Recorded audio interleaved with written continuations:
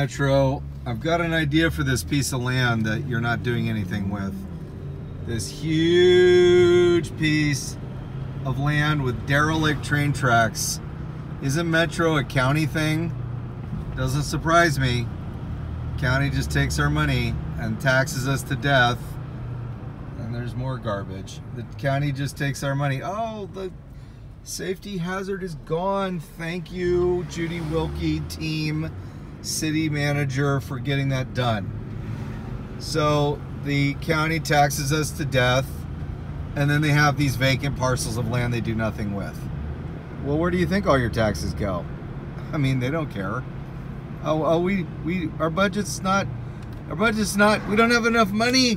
We need to tax you some more. Raise some taxes. I'm like, you know what? If you just got rid of that property, you wouldn't need to raise taxes.